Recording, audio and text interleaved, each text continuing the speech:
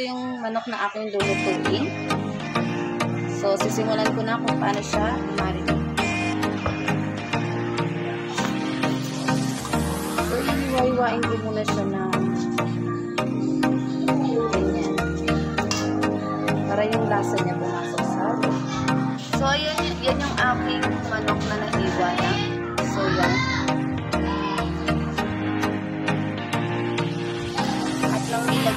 Ating air fryer. So, tara na. So, sisimulan ko na i-marinate siya. Lalagyan ko na siya ng black pepper.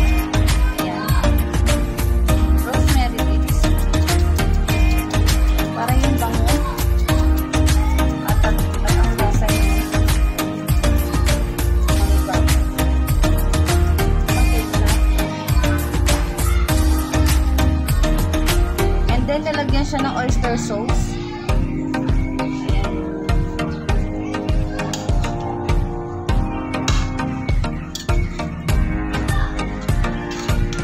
At ayan, tapos na siyang i-marinate.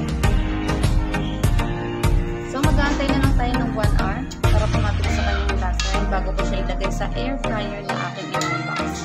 So, waiting for 1 hour.